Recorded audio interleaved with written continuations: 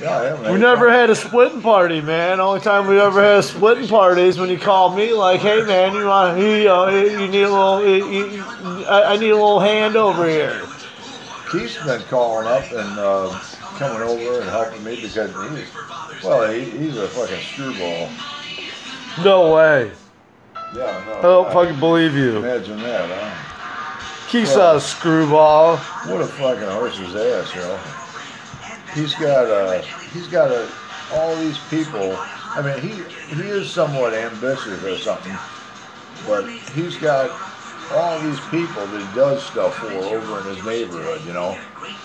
And this one black guy that lives kind of across the street has got like a, a neighbor's got all these trees and they come over onto his property, you know.